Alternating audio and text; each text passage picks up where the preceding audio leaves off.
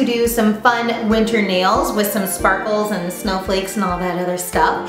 Um, also, as you guys can see, I finally have gotten my beauty room a little bit brighter in here. There's no more dark brown, no more orange. Um, I didn't think it was really good filming for me because I have such dark hair and darker skin that it was kind of hard to see what I was doing. So I think the white is a lot better choice. And I kind of got some stuff from my Ikea. Maybe I'll do a video when I'm all finished and show you guys everything that I did get and you guys might be able to use it too because it was really cheap. So here is the look that I came up with. I have some two white snowflakes on here on a black background some blue polka dots on there and then also a glitter French tip and just some rhinestones on the snowflakes.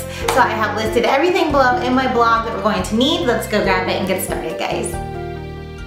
Alright, so the first color I'm using is Black Shadow and this is by Gelish. And we're just going to paint the whole entire nail with two coats of this.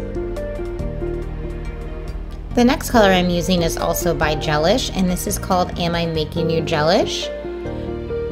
Now when you're using glitter, you want to make sure you shake it up really well so when you pull the brush out, you get a lot of the different sized glitter specks on there.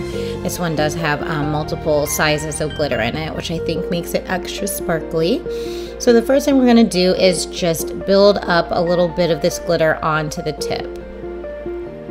Once you've got your first coat, you can go ahead and cure and then apply a second coat like I'm doing here. And the goal is to leave no black showing at the tip.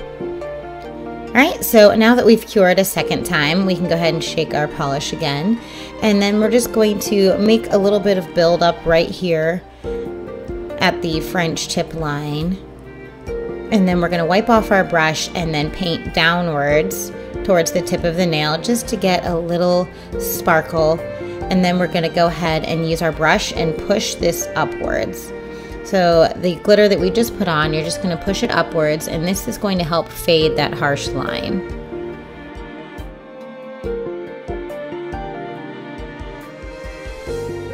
This process can take a little while, but I think it's important to spend a little time here because you don't want it looking like a French tip. We really want a faded look.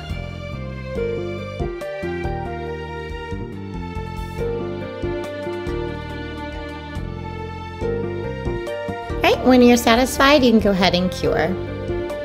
The next thing we need is to paint a top coat over this whole entire thing because we want a smooth surface when we go to make our snowflakes. So I like to add a top coat now. Next, I've dropped down my polish onto an index card here. And the colors I'm using, one by Gelish and this is Arctic Freeze. And then the blue one is a Space Girl polish, and I got this off AliExpress. It's number 33. So I don't know, a lot of different sellers have different numbers for these. So, but it's AliExpress is where I got it.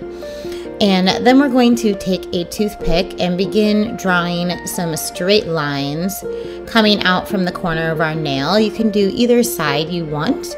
I'm just going to stick with this side, it's easier for me. And we're just going to draw a straight line out. And then we're also going to draw two more out from this center one. All right, just like this. Now you can go ahead and cure now if you'd like, or I'm just going to move on. Now we're going to do a little bit of the accent of the snowflake, and I find it best to just draw small lines at first. You can make them longer if you need to, but a lot of the times when I was doing this um, for my trials and like the demos and everything that I was doing, I found that the lines kept running into each other because I was making them too long. So just make them short in the beginning, and then if you want to, you can lengthen them later.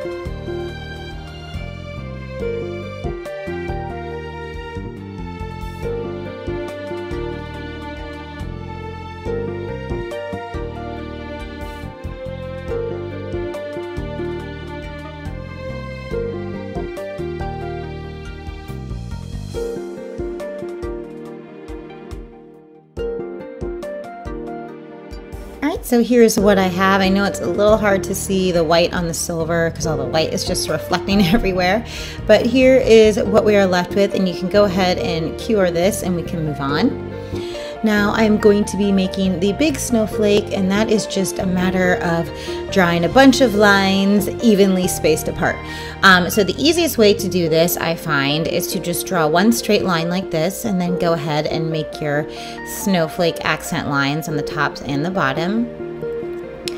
Now, instead of drawing like you would think to draw one line straight diagonally through, just do one line at a time. Um, a lot of the times I found that my lines kept running into each other when I tried to do the straight line all the way across the whole entire snowflake. So just draw one line out and then draw this one in the middle of the other two and then you can go ahead and draw your accent lines and that way nothing ends up running into each other. So then we're just going to kind of follow this line the best that we can and draw it out and make our accent lines. And then we're going to draw another line right in the middle of those two. And then our accent lines.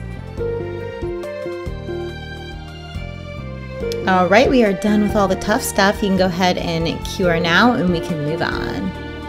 Now I'm just going to take that blue and a toothpick and we're just going to make a bunch of little dots everywhere, whichever size that you like. This doesn't really have any pattern or fashion, just I like to make some big ones and some small ones and just put them anywhere you feel like.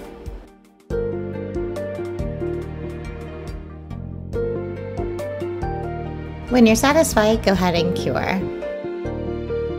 So now I have a little bit of top coat drop down onto my index card. I'm going to use a dotting tool and I'm just going to drop some of this top coat into the center of each of our snowflakes. So just like that, it's going to provide a base for our little rhinestones. Gotta have some jemmies in there. So we're just going to go ahead and pick these up. I have a little bit of top coat on my toothpick and we are just going to center them on either side of our little snowflakes and then we can go ahead and cure this. Finally, apply a top coat and we're all done, guys. Super fast, right? it always seems so much faster when I do these videos than it actually does. It does take a little while, but I think it's worth it. I can usually wear this for about a month, so it works out for me, I think.